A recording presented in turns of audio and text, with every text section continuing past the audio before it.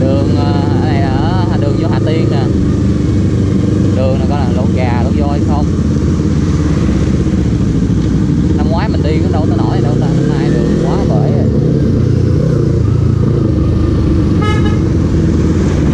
tại vì cái khu vực này là khu vực mà công ty xi măng nè, nó vận chuyển hàng nặng không mà chạy đường nằm chưa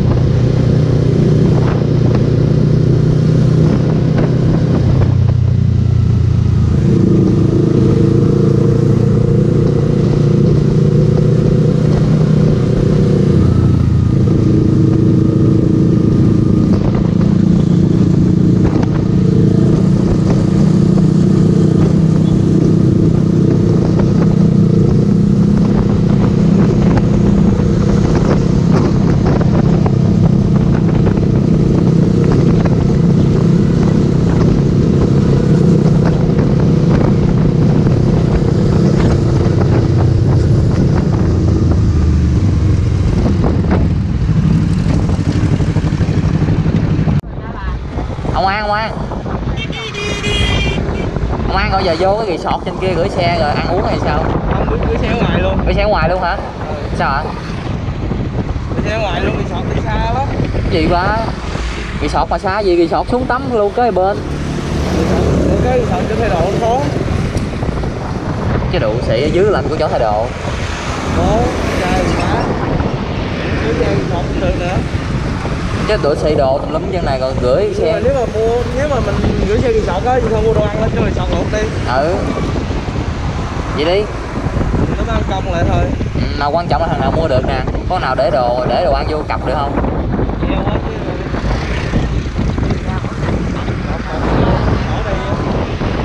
Giờ xuống chợ mua đồ ăn á. Chợ mua một mua tôm gì đó cái này chọc người không có lớn luôn Thôi ăn ghẹ chứ mất công lắm ba ăn mấy món dễ dễ ăn đi. Mấy này nó sứ quậy nó ngán lắm. Dạ, Kêu thua. gà 45 kg rồi Vuốt đó còn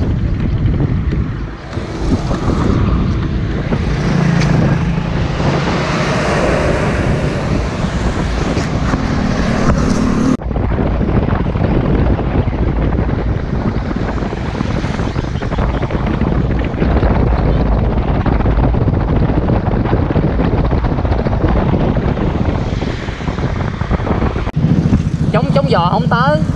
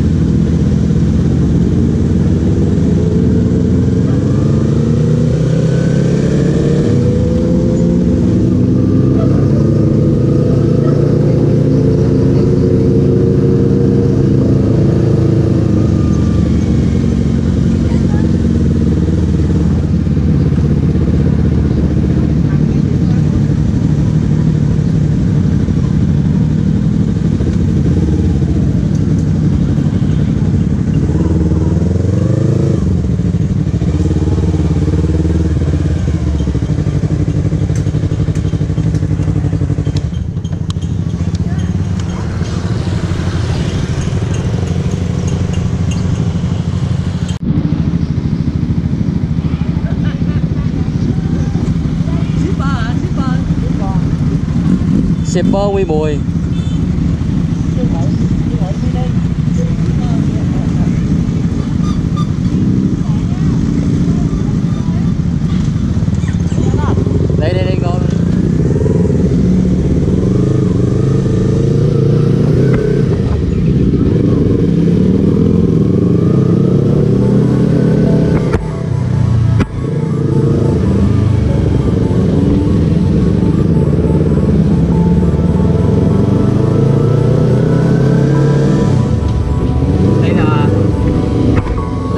Lambo quy bùi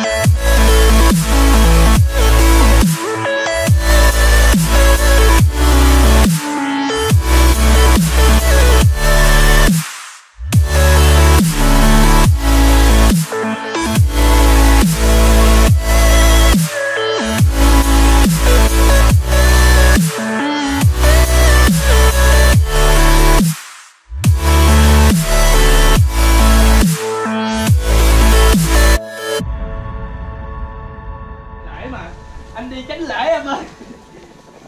Nay lễ không dám ở nhà. Nước. À không hút của cái này mà. Nước của ướp á. Lễ không dám ở nhà ở nhà anh sợ tốn tiền thôi anh đi chơi cho đỡ tốn. Này lại mà được cái nghỉ học nó sướng đi để đi mới được đi ngủ Quy lớn ơi, chiều nay mua bông hai anh em mình đi mua quy lớn ơi. Trời ơi đi. Có rồi ai kêu cứ cắm đầu chạy đi